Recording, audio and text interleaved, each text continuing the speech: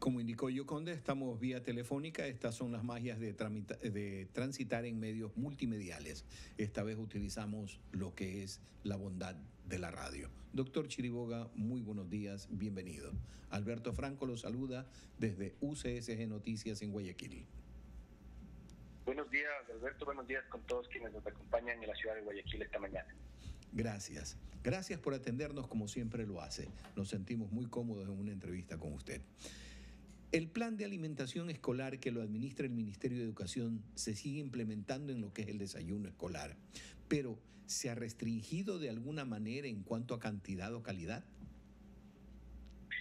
Bueno, eh, Alberto, es una, es una muy buena pregunta eh, y creo que hay que retroceder algunos años para entender cómo se administra el programa de alimentación escolar, que no ha cambiado la forma de, de llegar a los estudiantes todos los días en alrededor de, de 2.9 millones de raciones eh, desde diciembre del 2016.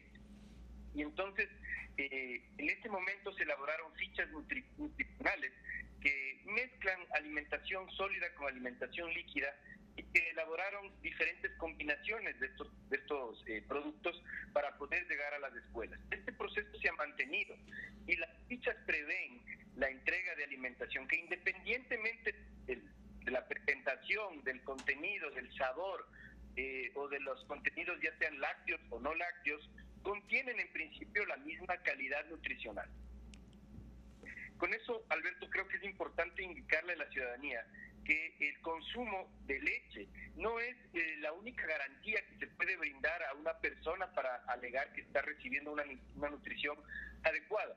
Pero aún así, el consumo de leche dentro del proceso de alimentación escolar es importante y al día de hoy eh, nosotros entregamos 500 eh, mililitros de leche por semana, por cada uno de los estudiantes. Eh, y esto es lo que las fichas contenían originalmente.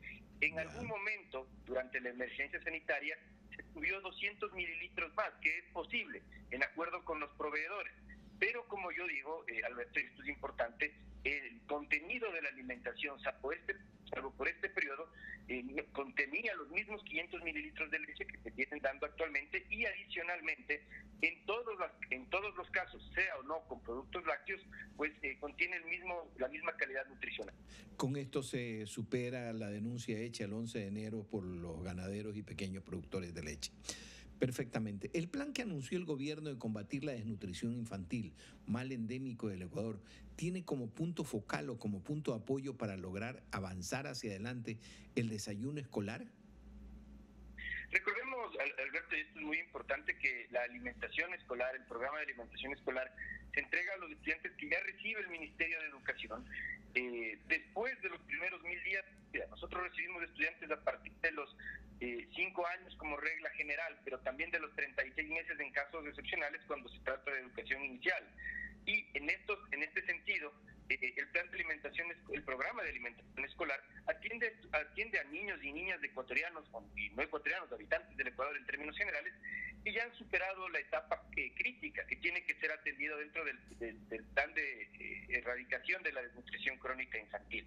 Aún así, el mantener el programa de alimentación escolar, por supuesto, constituye un apoyo para el, para el sistema de, lucha en contra de la desnutrición, pero aquella crítica que se realice que, se causa, perdón, en los primeros mil días de vida, ya ha sido superada eh, en el momento en el que los estudiantes, o ya debió haber sido superada siempre en el, en el momento en que un estudiante llega al Sistema Nacional de Educación. Anteriormente, aparte del desayuno escolar, se mantenían planes de alimentación escolar. ¿El Ministerio de Educación lo sigue llevando adelante? El programa, como se conoce, Alberto, es el programa de alimentación escolar precisamente. No es eh, solamente un desayuno. Eh, hay, y eh, sí, es, un snack, es un lunch, digamos, como se lo puede conocer, conocer tradicionalmente en las instituciones educativas y que ha ido variando a lo largo de las décadas. El programa de alimentación escolar, que en algún momento sí fue denominado desayuno escolar, eh, se viene realizando desde el año de 1989, con entrega de bebidas, de, jugos y de panes inicialmente, eh, hasta lo que es ahora, que es una bebida eh, que contiene vitaminas y, hierro principalmente, sea o no en presencia, acompañada con productos lácteos, y también una galleta de cereal. y eso es lo que se entrega, pero a manera, digamos, de una colación escolar, no propiamente de un desayuno. Existen ciertos lugares en el país en donde con convenios con gobiernos autónomos descentralizados se ha logrado dar también de manera adicional fruta fresca eh, sin perjuicio de que se avanza también en el nuevo proceso de alimentación escolar, Alberto, esto es fundamental indicarle a la ciudadanía que a partir eh, de este año nosotros ya tenemos 11 fichas elaboradas conjuntamente con el Ministerio de Salud, revisadas por organismos internacionales que amplían la, la eh, las fichas, eh, los juegos de comida, digamos, las presentaciones, la, posibilidad de entregar diferentes alimentos. Y por supuesto, en este sentido, ya no se va a acudir solamente a esta galleta en el caso de los sólidos, sino a productos también con mayor pertinencia cultural, eh, chochos, tostado, es decir, diferentes tipos de alimentaciones que que se van a brindar a nuestros estudiantes. Lo lógico sería que estos planes de alimentación, desayuno, colación, etcétera, estén dentro de los servicios de los ministerios de salud o del del bienestar o del de bienestar. Eh, ¿Por qué se hace cargo el Ministerio de Educación que ya tiene tanto, tanta carga laboral con más de 200 mil maestros a nivel nacional? En realidad, eh, Alberto, yo creería que es una forma adecuada de llegar, y, se lo digo en base a la, experiencia que hemos visto que el propio Ministerio de Educación, no siempre el programa de alimentación escolar estuvo en, la, en el Ministerio de Educación, eh, y el ministerio está dividido en dos, en dos alas específicas, una que se encarga de la, de la parte pedagógica, digamos, de la parte misional, educativa propiamente, y una parte que se encarga de administrar el sistema de educación. Eh, no, no parecería natural a una cartera de Estado encargada de los procesos pedagógicos construir, pero tenemos que construir escuelas.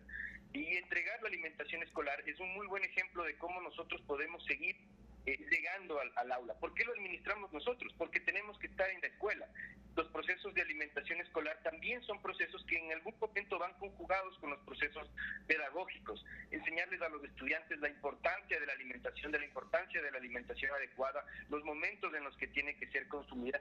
Y adicionalmente, eh, nosotros hemos comprobado que a partir de la administración del Ministerio de Educación, estos eh, famosos escándalos de alimentación que se eh, caducaba, pues dejaron de, dejaron de ser comunes, dejaron de ser seguidos, los contratos han sido administrados de una manera adecuada y como yo digo, tener de la mano la cantidad de estudiantes con nombre y apellido del estudiante, conjuntamente con la empresa que le tiene que entregar a esa escuela donde están nuestros niños y niñas la comida, ha permitido mayor eficiencia en la administración. En el año 2022, no me acuerdo en qué mes precisamente, se encontró la presencia de alimentos caducados en alguna de las provincias del país. Usted indica que ya se están tomando las prevenciones para que eso no vuelva a ocurrir. A propósito de esa pérdida, ¿se sancionó a los responsables? Es correcto, Alberto. Nosotros vimos y además se, ratifica lo que le acaba de comentar. Esto sucedió en la provincia de Chimborazo y la alimentación que se encontraba caducada era la alimentación eh, que se había elaborado en el año 2015, previa a la administración del Ministerio de Educación del programa de alimentación escolar, por parte de una institución, de una empresa pública que ya no existe además. Y por supuesto se había producido eh, de forma excesiva, se quedó eso en las bodegas y no se pudo repartir adecuadamente la alimentación que en este momento eran coladas.